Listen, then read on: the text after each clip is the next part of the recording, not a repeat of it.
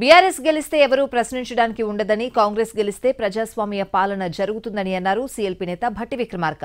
BRS తీరు దొంగే దొంగ అన్నట్లుగా ఉందన్నారు. ఇచ్చిన మాటను తప్పకుండా నెరవేర్చే పార్టీ కాంగ్రెస్ అని కేసీఆర్ హామీలన్నీ నెరవేర్చలేదని ఫైర్ అయ్యారు. దళితుడిని ముఖ్యమంత్రి చేస్తానన్న కేసీఆర్ హామీ నెరవేర్చలేదని మండిపడ్డారు సీఎల్పీ నేత భట్టి విక్రమార్కతో మా ప్రతినిధి Bhupal face to face.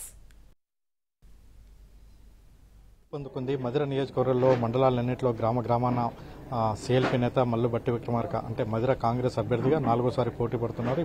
Congress BRS వాద ప్రతివాదాలు కొనసాగుతున్నాయి. ప్రధానంగా కాంగ్రెస్ గెలిస్తే ముఖ్యమంత్రుల కోసమే పోరాటం తప్పితే ఆ జరుగుతుంది తప్పితే మళ్ళీ అరాచక పాలన వస్తుంది అనే అనే అంశంలో అటు కేసీఆర్ కానీ కేటీఆర్ హరీష్ రావు ప్రచారం దీన్ని ఎలా చూడాలి?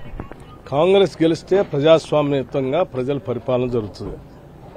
టీఆర్ఎస్ గెలిస్తే నేతృత్వ పోకడతో కేసీఆర్ కేటీఆర్ పాలన చేస్తారు ఎవడు ప్రశ్నించడానికి లేదు ఎవడు మాట్లాడటానికి లేదు.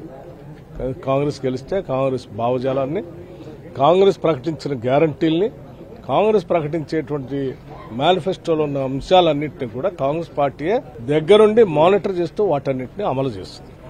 అత్యంత ప్రజాస్వామ్యతంగా. ఇది కదా మనకు కావాల్సింది. సో ప్రజలు కోరుకునేది కూడా ప్రజల ప్రభుత్వాన్ని కావాలని కోరుకుంటున్నారు. అదే జరుగుతుంది. అంటే కాంగ్రెస్ పార్టీ అంటే నమ్మక ద్రోహానికి చేయను అది చెప్పే హామీలు ఏది కూడా అమలు చేయదు. కేవలం బీఆర్ఎస్ అంటేనే నమ్మకానికి చేయనమని ఇప్పుడు చెప్తున్నారు. దీన్ని ఎలా దొంగే దొంగ దొంగ అనేట్టుగా ఉంది. కాంగ్రెస్ పార్టీ అంటే మాట తప్పనటువంటి పార్టీ. ఆరోగ్యశ్రీ ఇస్తామంటే ఇచ్చారు. ఉచిత కరెంటు పైన సంతకం పెట్టి ఉచిత కరెంటు ఇస్తామంటే ఇచ్చారు. ఇంధనం ఇళ్ళు అందరికి ఇస్తామంటే ఇచ్చారు. ఫీజు రియంబర్స్మెంట్ అందరికి ఇస్తామంటే అందరికి ఇచ్చారు. పెన్షన్స్ అర్హత ఉన్నటువంటి వాళ్ళు అందరికి ఇస్తామంటే అందరికి ఇచ్చారు. చివరికి తెలంగాణ ఇస్తామని చెప్పి చెప్పారు. తెలంగాణ కూడా ఇచ్చారు. ఇలా ప్రతి సందర్భంలో చేసేది మాత్రమే కాంగ్రెస్ పార్టీ చెప్తుంది. చేసింది మాత్రమే ప్రచారం కూడా చేస్తుంది. కానీ కేసీఆర్ ఏం చేశాడు? దళిత ముఖ్యమంత్రి చేస్తా అన్నాడు. చేయలేదు కదా. డబల్ బెడ్రూమ్ అందరికీ ఇస్తా అన్నాడు ఇల్లు. ఇవ్వలేదు కదా. ఇంటికో ఉద్యోగం అన్నాడు. చేయలేదు కదా. నిరుద్యోగ భృతి ఇస్తా అన్నాడు. చేయలేదు కదా? ఇలా కోకొల్లలు ప్రతి నియోజకవర్గానికి మండలంలో మూడింటికి తగ్గకుండా ఎల్కేజీ టు పీజీ వరకు కడతా అన్నాడు. కట్టలేదు కదా?